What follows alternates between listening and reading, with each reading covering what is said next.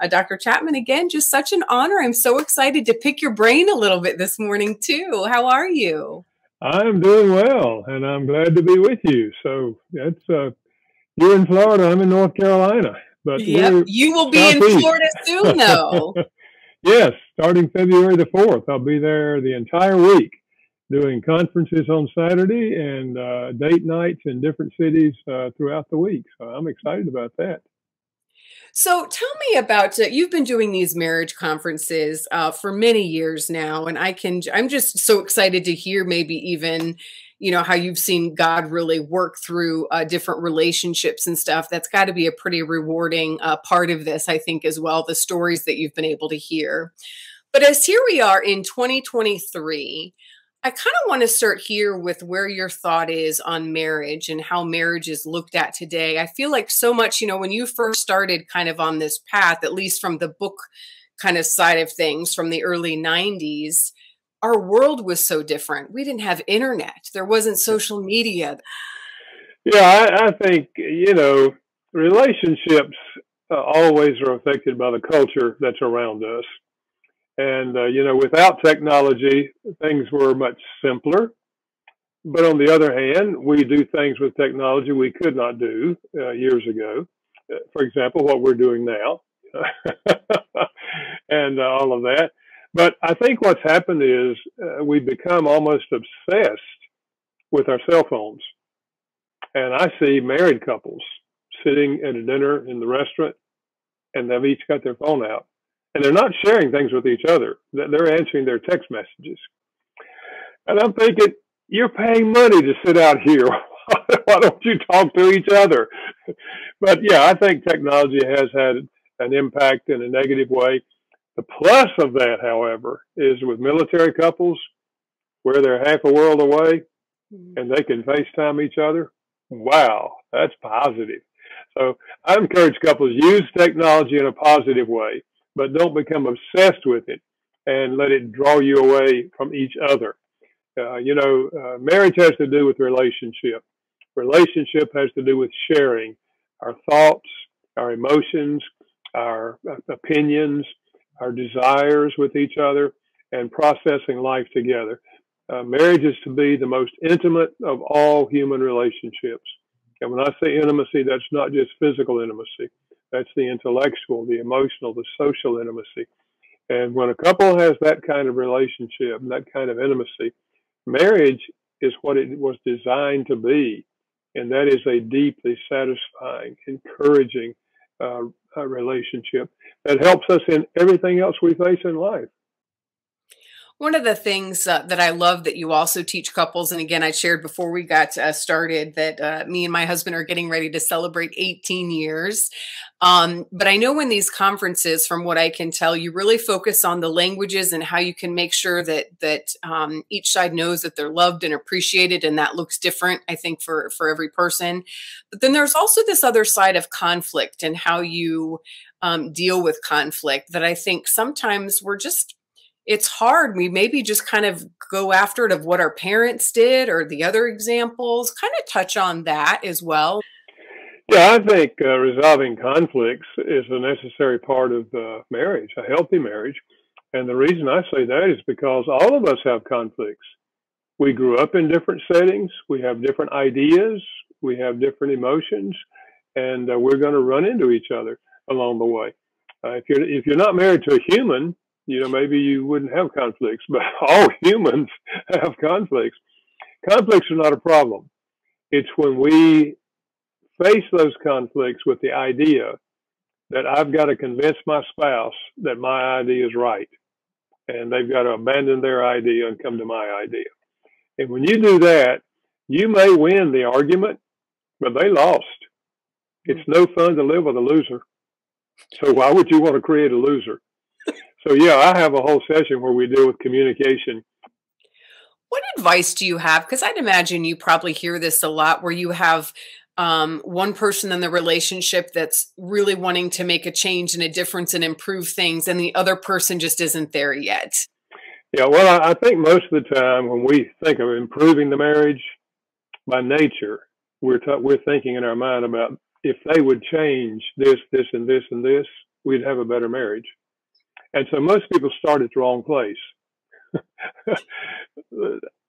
start by asking, what could I do that might make our marriage better? And, and ask that of your spouse. You want you want to know what's going on in their mind and their heart. You just say, "Honey, uh, you know, I've been thinking I really would like to our marriage to keep growing. So what could I do that would make our marriage better? Well, what do you think? They'll give you. Hopefully, they'll just give you one or two, not all ten. You know, and then you say, "Well, you know, I'm going to try to work on that." You know, and so you start working on it. And I can almost guarantee you, you ask that question a couple of times, they will return the question, and they will say to you, "Well, honey, uh, let me ask you that question. What what could I do that would make our marriage better?"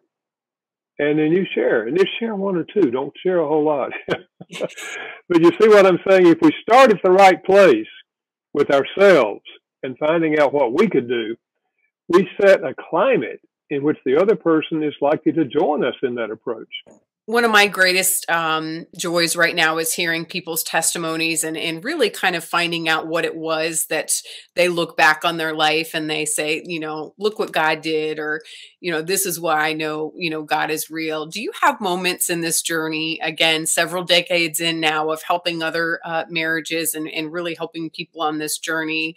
Where you say, man, look what God has done, and it's just helped increase your faith. Any?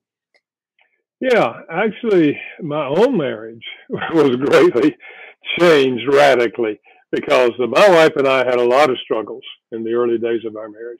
Maybe that's why God has led me to spend my life mm. helping people have the kind of marriage they wanted to have when they got married. But I remember the day when I said to God, I don't, I don't know what to do. I mean, we're just not getting along.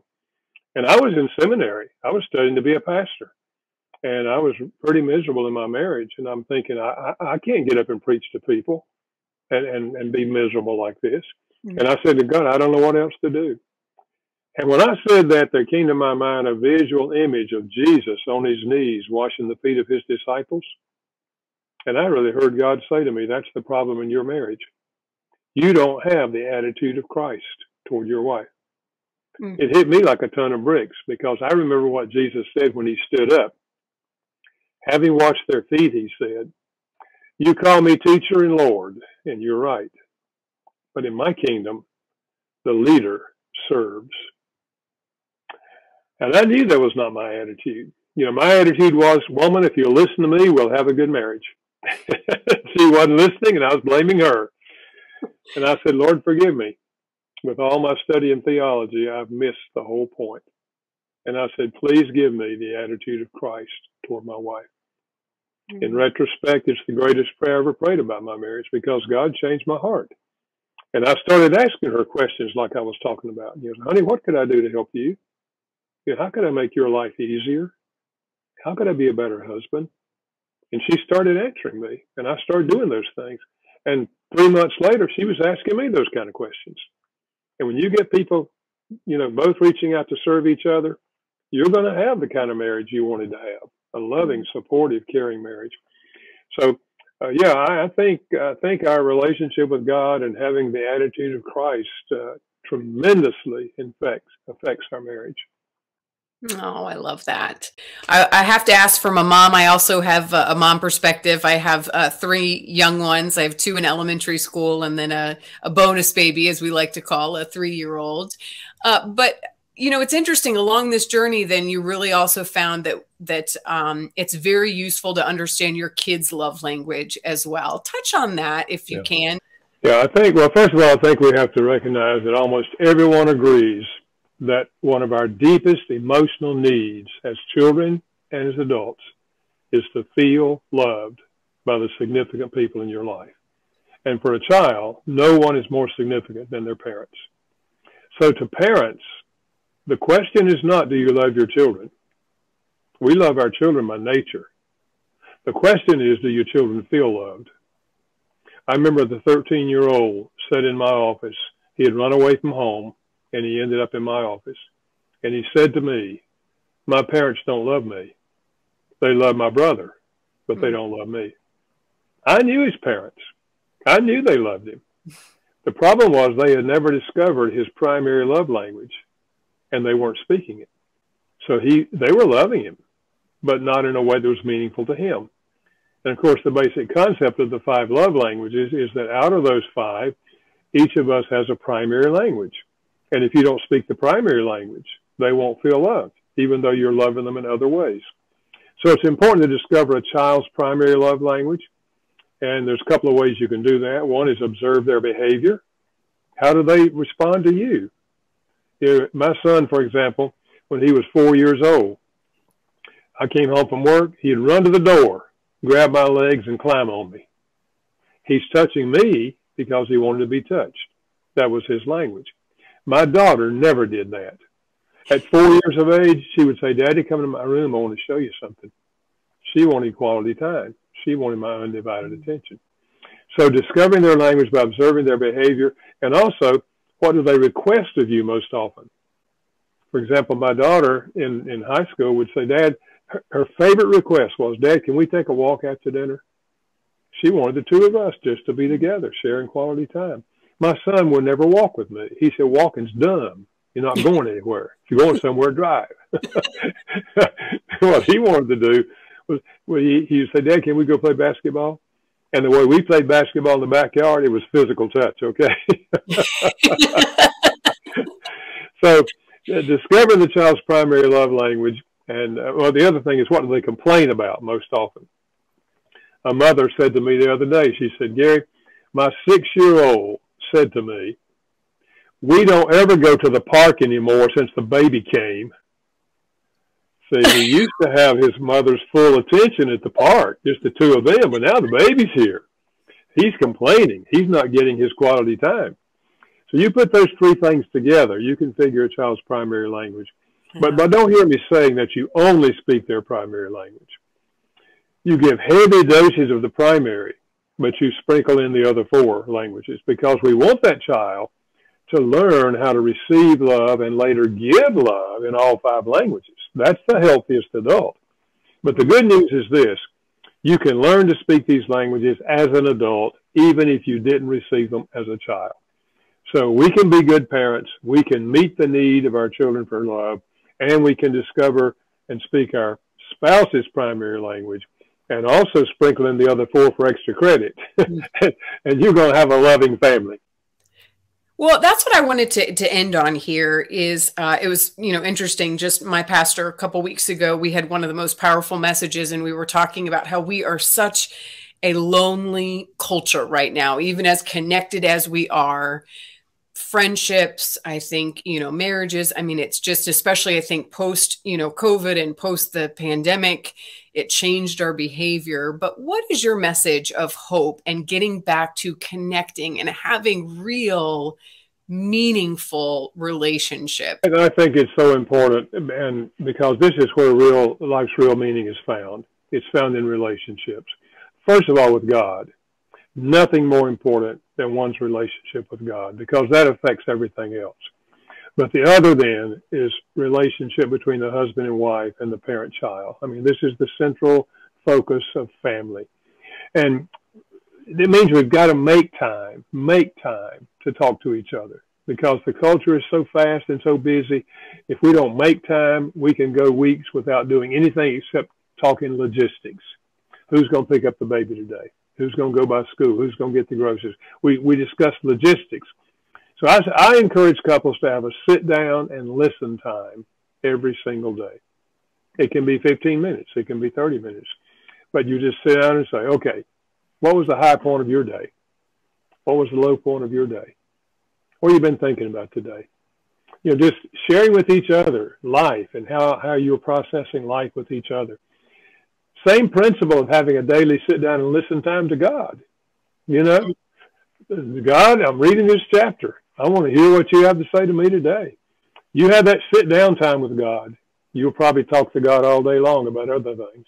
Mm-hmm. And the same thing is true. If a couple can have a sit down time listening to each other, they'll probably have good communication in their marriage. Amen. I love it. Well, of course, where would you send people? I know you're going to be in Florida for you know a little bit doing these marriage conferences, but you're all over the place nationally as well, where people can uh, just soak in all this great advice and the experience that you've had working with couples uh, over the years. Where would you send them? If they go to the website fivelovelanguages.com, the number five, fivelovelanguages.com, and check on events they can see not only the Florida events, but they can see other places perhaps where I'm going to be in the future. Awesome. Well, again, thank you so much for your time. I really, really appreciate it. It's uh, such an honor. You keep doing uh, what you're doing because you are helping marriages uh, and, and relationships really of all shapes and sizes. Uh, so you keep you keep it up, okay? Well, thank you, Carley, and you keep up your work. All right. All right. Sounds good. thank you, doctor.